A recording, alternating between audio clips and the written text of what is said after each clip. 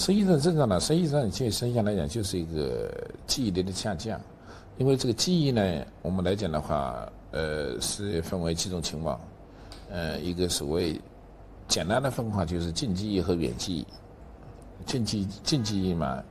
就是最近一段时间，一般来讲，指的也可以是一个礼拜之内的发生的事情。远记忆嘛，可能是一一个礼拜再往前推，这现在叫远记忆，表现为这个远记忆和近记忆的下降，呃，这个这个这方面的表现，都都都是这个所谓失忆症的症状。